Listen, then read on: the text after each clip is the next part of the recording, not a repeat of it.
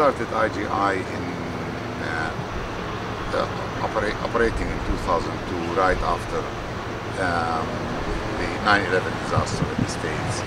Uh, it wasn't really the timing wasn't because of the disaster in the States. It's just because I've been in the business in the Middle East for that time for over 40 years, and I felt there was a gap in uh, the reinsurance scene.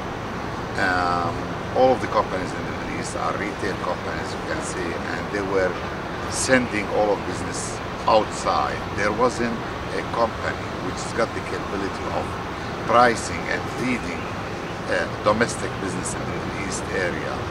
And we wanted, uh, uh, my vision was to create an alternative to other markets that you can go to the wherever European international markets, but there is a company that can give you similar service.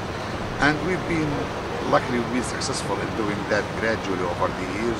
We didn't acquire anybody, it was all organic growth. And uh, we've been uh, expanding our line of uh, uh, lines of business and expanding the geographic base of the company.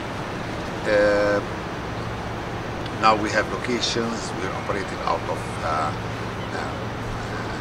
Dubai. We're uh, in the IFC. We have an operation in Malaysia. We have an operation in Jordan. We have a subsidiary in UK.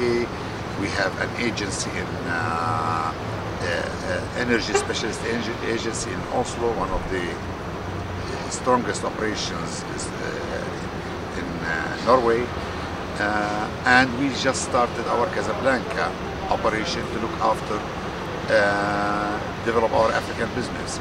We're aiming at Northwest and West Africa, really, for Casablanca office. And uh, the signs are very, very promising